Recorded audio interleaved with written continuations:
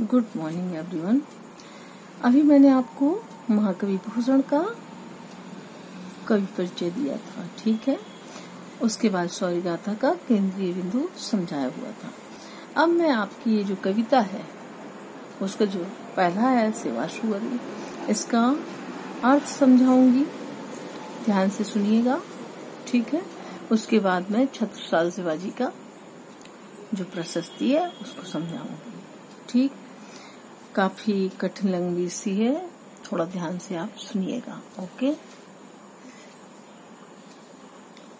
पहले मैं रीड करती हूँ, उसके बाद मीनिंग बताऊँगी, फिर समझाऊँगी। साजी चतुरंग सेन, अंग में उमंग धारी सरजा शिवाजी जंग जीतन चलत है। भूषण भनद नाद, बिहद नगारन के, नदी नद मद गैवरन के रनत है। हैल फैल, खैल भैल खलन की गैल गैल, गजन की ठैल पैल, सैल उसरत है। तारा सुतरनी धूरी धारा में लगाती जी में थारा का पारा पारावार यूँ हलत है। ओके, ये पहले पढ़ के बताया मैंने, अब आपको मीनिंग्स बता दे रही साजी मतलब सजाकर, चतुरंग सेन, चार तरह की सेना।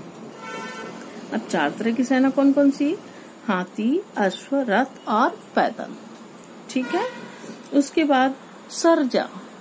सरजा, ये शिवाजी की उपाधि है। जंग। जंग मतलब युद्ध। जीतन मतलब जीतने, विजय प्राप्त करने के लिए। नाद। नाद मतलब आवाज़, ध्वनि। बेहद। बेहद मतलब बेहद।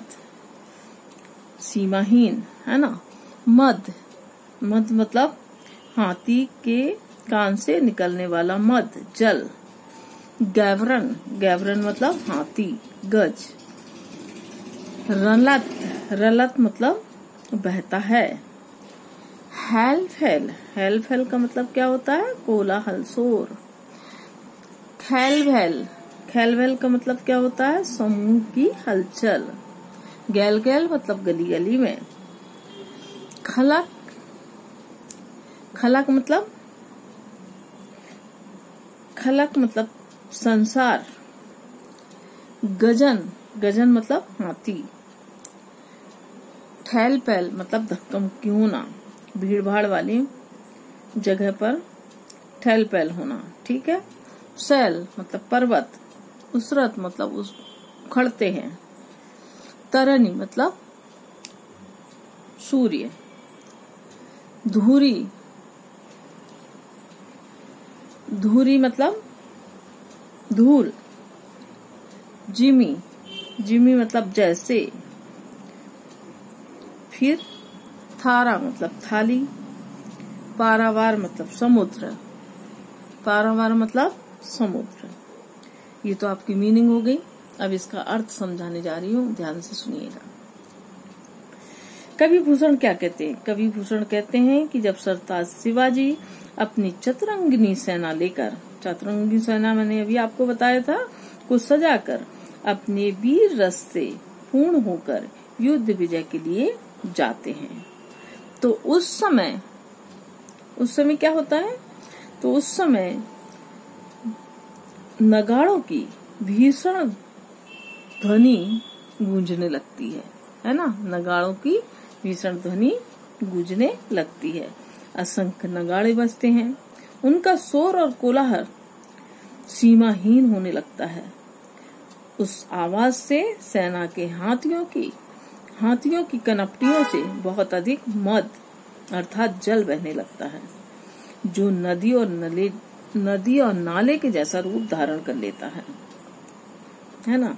हाथियों की सेना अत्यधिक मस्ती और उत्साह से भरकर हाथियों की सेना अत्यंत मस्ती और उत्साह से भरकर युद्ध के लिए आगे बढ़ रही है। शिवाजी की विशाल अजय सेना युद्ध क्षेत्र की ओर प्रस्थान करने के लिए संसार की गली गली में खलबली मचा रही है। संसार की गली गली में खलबली मचा रही है। ठीक? उसके बाद शिवाजी की जो सेना है, वह गली गली में उस मतलब खलबली मचा रही है, उसको देखकर क्या हो रहा है? और वो मतलब अपनी स्पीड से आगे बढ़ती चली जा रही है। अत्यधिक भीड़ भाड़ के कारण हाथी परस्पर एक दूसरे से टकराते हैं, है ना?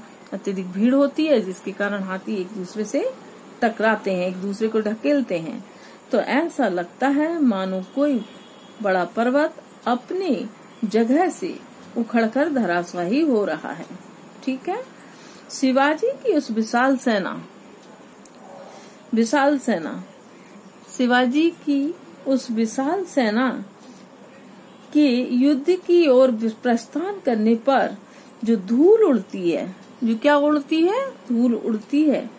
तो वो धूल जब आसमान में छा जाती है, आकाश में छा जाती है तो ऐसा लगता है सूर्य जो ऐसा दिखाई देता है जैसे कोई तारा हो। ठीक? सूर्य तारे के समान दिखाई देने लगता है। सेना के पैरों के प्रहार से समुद्र हिलता है।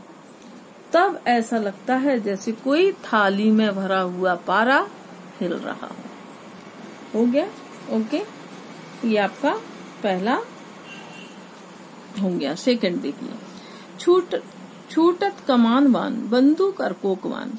मुश्किल हो तो मूर्छानों की ओट में। ताही समय शिवराज हुकुम पे हल्ला कियो, दावा दावा बाँध दे सिन। पे बैरिन ले जोट में। फिर यहाँ देखिए। भूषण भनद, तेरी हिम्मत कहाँ लो कहो? किम्मत यहाँ लगी है जाकी भट जोट में। ताओ दे दे मूछन कंगूरन पे पाओ दे दे, घाव दे दे, अरिमुख कूद परे कोट में। अब इसका अर्थ मैं समझाने जा रही हूँ। इसको देखिएगा।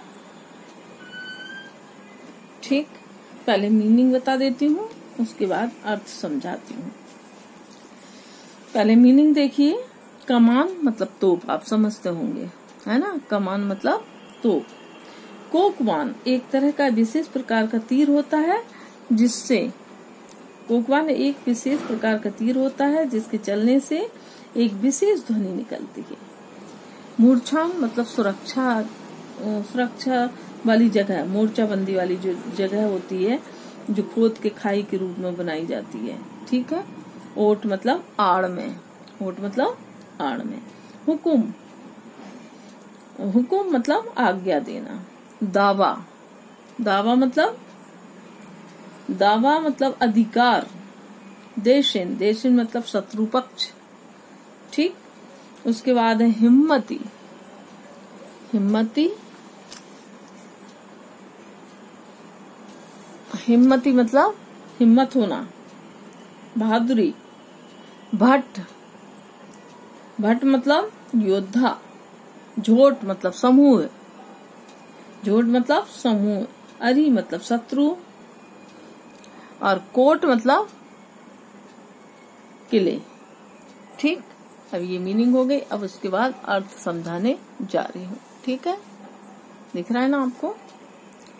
ठीक। आप क्या कह रहे हैं? भूषण कवि कहते हैं कि युद्ध के मैदान में तोप चल रही है, गोली चल रही है और एक विशेष प्रकार का हथियार चल रहा है जो ध्वनि करता है। है ना? जो बहुत ध्वनि करता है। एक अलग सी ध्वनि करता है। अब मचानों की ओट में मतलब छुपने वाली जगह, मचानों की ओट में भी प्राण रक्षा करना कठिन हो गया है। उस समय मरहटे वीरों ने शिवाजी की आज्ञा से हिम्मत बार बाँध कर ऐसा प्रबल प्रत्याक्रमण ऐसा प्रबल आक्रमण किया कि शत्रु वीरों के समूह में भी शोर मच गया। हे शिवाजी, अब वो क्या कहते हैं कि हे शिवाजी, तुम्हारी हिम्मत। हे शिवाजी, तुम्हारी हिम्मत। तुम्हारी हिम्मत का मैं कहाँ तक बखान करूँ? है ना? आपकी वीरों के समूह में भी बड़ी प्रतिष्ठा है। आपके वीर सिपाही मूछों पर ताव देते हुए कंगूरों पर, देखा होगा किले में कंगूरे बने रहते हैं, उन कंगूरों पर पाँव टेकते हैं और शत्रुओं के शत्रुओं के मुखों पर घाव बनाकर, शत्रुओं के मुखों पर घाव बनाकर कहाँ कूद रहे हैं? किले में कूद पड़ते हैं। कहाँ कूद पड़ते हैं? किले में कूद पड़ते हैं। आ रहा ना समझ में? उसके बाद अब ये वाला देखिए आप। एक मिनट हाँ चलिए। निक्सत म्यानते मयूखे प्रले भानु कैसे फारे तम तोम से गैंदन के जाल को लागति लपति कंठ, बैरन की नागिन सी, रुद्र रिझावे दे दे मुंडन की माल को लाल छितिपाल छत्र साल महाभावली कहा लो बखान करूँ तेरे करवाल को की प्रतिभट कटक कटी, एकित काट काटी। काल का सी किला के कले उदित काल को। ठीक, अब छत्रसाल जी के बारे में बताने जा रही हूँ मैं कि छत्रसाल जी का है ये। इसमें क्या बताया गया है, ये मैं पहले मीनिंग बताऊँगी, उसके बाद मैं आपको अर्थ समझाऊँगी।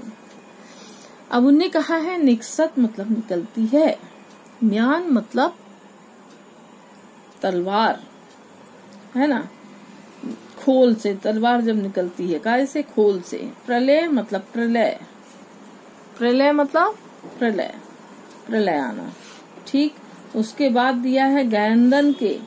गैंदन के मतलब हाथियों के समूह। भानु।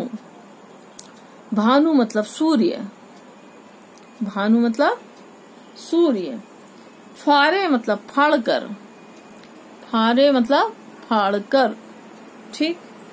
तमतोम तमतोम मतलब अंधेरा, तम मतलब अंधेरा होता है, तम मतलब अंधेरा, लागत मतलब लगती है, लागत मतलब लगती है। फिर लपक की लपक, लपटी मतलब ज्वाला, लपटी मतलब ज्वाला, बैरिन बैरिन मतलब शत्रुओं की, गयंदन गयंदन मतलब? गयंदन का मतलब होता है शत्रु। जाल मतलब समूह जाल मतलब समूह उसके बाद दिया है आपका प्रतिभट मतलब प्रतिपक्षी योद्धा। कटक मतलब सेना। कटक मतलब सेना। किला की मतलब खुश होती, किलकारी मारती है। और कलेऊ मतलब भेंट। कलेऊ का मतलब भेंट ठीक है? ये तो आपका क्या हो गया? मीनिंग। अब इसका अर्थ मैं समझाने जा रही हूँ, ध्यान से सुनिएगा। अब छत्रसाल महासाल जब युद्ध करने लगते हैं, तब उनकी म्यान से जब तलवार निकलती है, म्यान से क्या निकलती है? तलवार निकलती है। तो जब उसकी चमक, वो ऐसी चमकती है, जैसे प्रलयकाली सूर्य अपनी महाज्वाला महाज्वाला बरसा रहा है। मतलब वह है, जब उनकी म्यान से तलवार निकलती है तो वो उसकी चमक किसके समान लगती है? सूर्य की महाज्वाला के समान लगती है।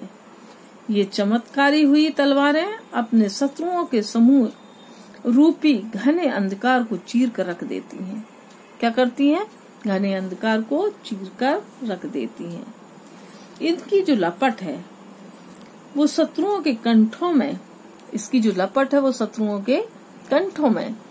जैसे कोई नागिन लिपट जाती है ना, नागिनों के समान लिपट जाती हुई दिखाई देती है।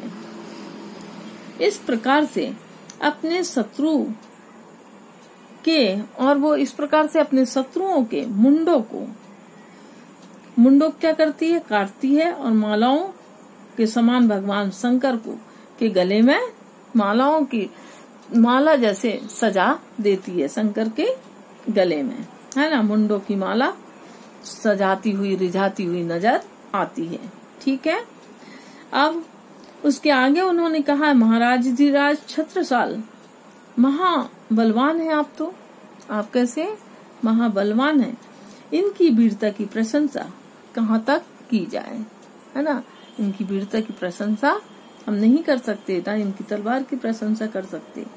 ये तो अपने शत्रुओं की सेना को काट काट कर कालिका को हाँ कालिका के समान किलकारी देते हुए काल को भेंट चढ़ाते हैं।